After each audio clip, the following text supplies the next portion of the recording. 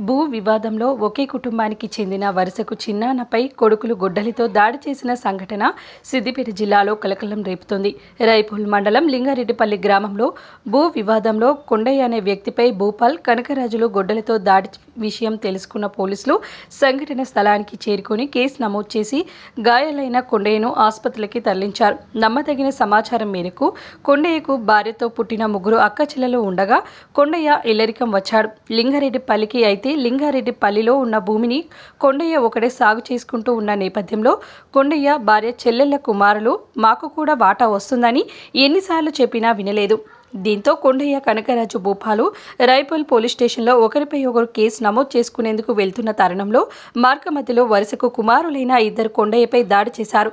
తీవ్ర గాయాలైన కొండయ్యను పోలీసు ఆసుపత్రికి తరలించారు. అయితే గొడవ జరుగుతున్న క్రమంలో పోలీసుల రాకతో ప్రాణాపాయం తప్పింది.